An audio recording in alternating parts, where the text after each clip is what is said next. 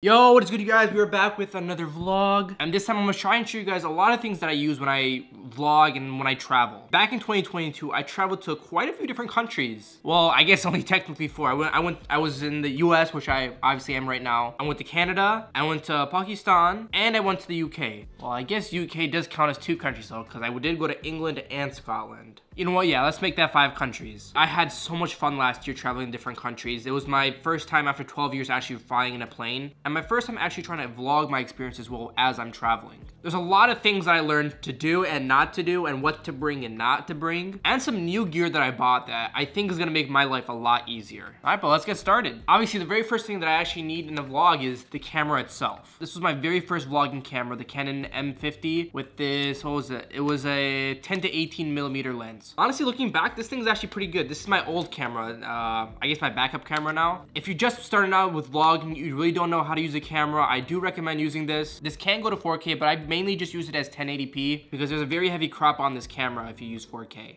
But my main camera now that I'm actually recording with, I bought back in September, it was the Sony Alpha A7 IV. I absolutely love the quality and the autofocus on this thing, and I can actually record in 4K without that heavy crop, like the, unlike my uh, older camera. I do, I do kind of regret buying it. Don't get me wrong, it's a good camera. It does overheat. It is a bit heavier than the my old camera. And it's a bit more pricey, but it still is a very good high quality camera to use. My, is actually, before I bought the Canon M50, I bought the GoPro.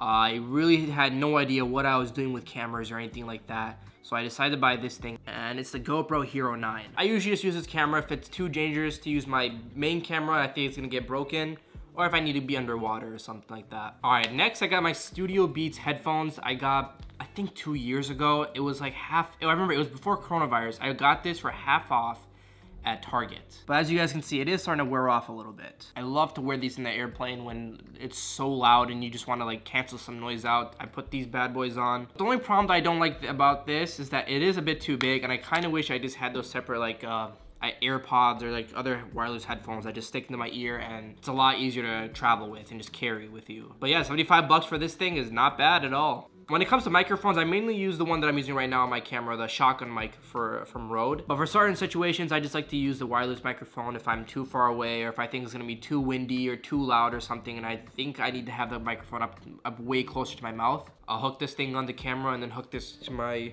ugh, my hair's in the way, to my chest. This is the same,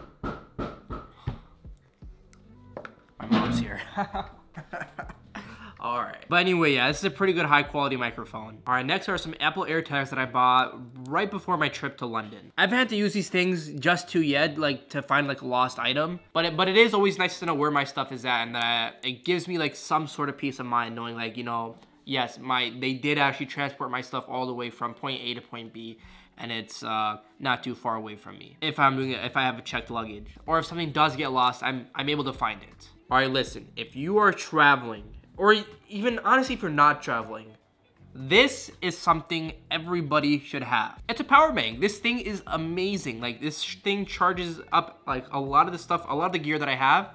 This thing will be able to charge it up. I was in Pakistan and obviously electricity goes out there all the time and I need electricity, you know, to charge my things up. And main times like the outlets would be in pretty bad spots so I really wasn't able to charge things at night like right next to my bed, like my phone. I would just hook this thing up to my phone and it would charge completely fine. I have an iPhone 13 Pro and I think I can charge it up like three to four times before this thing actually dies out. But what I can also charge is my brand new DJI Mini Pro 3 drone. You guys saw my last vlog, I was flying this thing around for the very first time. And I never really realized how fun it actually is to drive, uh, to drive, to fly one of these things in the air. The thing with this is that you don't even realize that's about to die because you've been having so much fun. And it just, your remote starts, this is the DJI uh, Probe, whatever it's called, uh, RC remote. And this thing will start beeping like crazy when your drone's about to die. It'll literally make itself return back home. All right, next I got the stuff that I actually store my footage with. When I first started vlogging, I bought this thing. It was the four terabyte uh, hard drive that I'm sure you've seen many, many YouTubers use. And it's not too bad for its price, but the thing that I really don't like about it is that it's pretty heavy. It takes up a lot of space.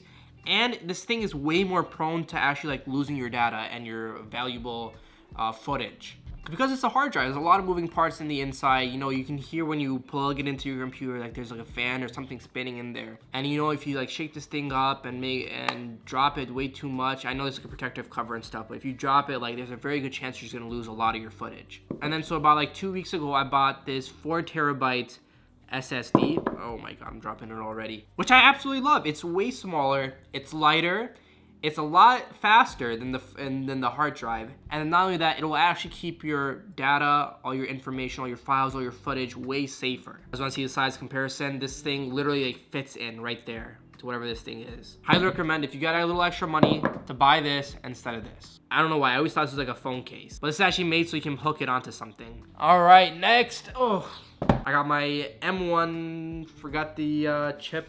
Okay, so this is the MacBook Pro 14 inch from 2021. Yeah, so it has the Apple M1 Pro chip and has 16 gigabytes of memory. Way better than my old MacBook Pro. I think it, it had like 8 gigabytes of memory.